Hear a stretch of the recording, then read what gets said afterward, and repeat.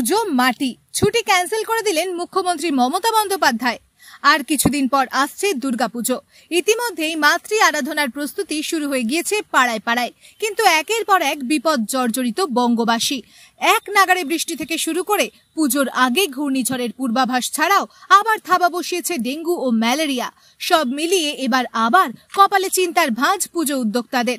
Dengue ম্যালেরিয়ায় আক্রান্ত হয়ে পুজোর আগে প্রাণ হারিয়ে ফেলছে বহু মানুষ। এই পরিস্থিতিতে বহু কর্মীর ছুটি বাতিল করে দিল পশ্চিমবঙ্গ সরকার। ডেঙ্গুর ফলে করুণ অবস্থা হয়েছে রাজ্যবাসীর। সম্প্রতি রাজ্যের পক্ষ থেকে পেশ করা একটি তথ্য দেখে অনেকের চিন্তা বেড়ে গেছে।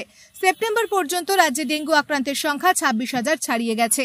গত বছর সেপ্টেম্বর পর্যন্ত কলকাতায় ডেঙ্গু আক্রান্তের সংখ্যা যেখানে ছিল দু হাজার চারশো, সেটা এই বছর হয়েছে দু হাজার সাতশো।